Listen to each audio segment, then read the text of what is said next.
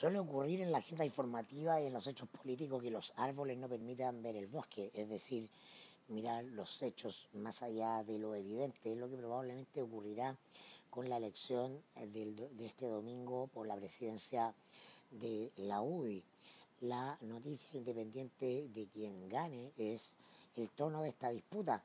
que ha sido bastante áspera y eso en sí mismo es una noticia, pues este hecho habla del deterioro de la UDI y de la mutación radical de las lógicas que lo llevaron a ser el partido decisivo de la transición, eh, concebida como un partido diferente de la derecha tradicional, la derecha de los salones, eh,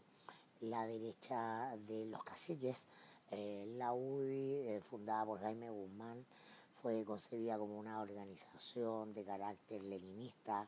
eh, vertical, basada en la amistocracia, en las relaciones humanas potentes y los vínculos de lealtades que eran su fuerza.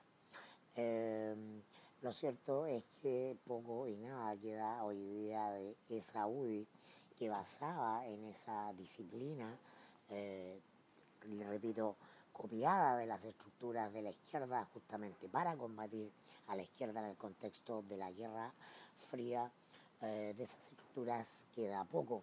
Lo cierto es que lo más sintomáticas son las amenazas esta última semana de campaña de renuncias, en caso, renuncias masivas, en caso de que gane o se reelija a la actual presidenta Jacqueline Van Rieselberghe. Una cosa son las agendas políticas, la sensibilidad, los tonos, y otra es el poder.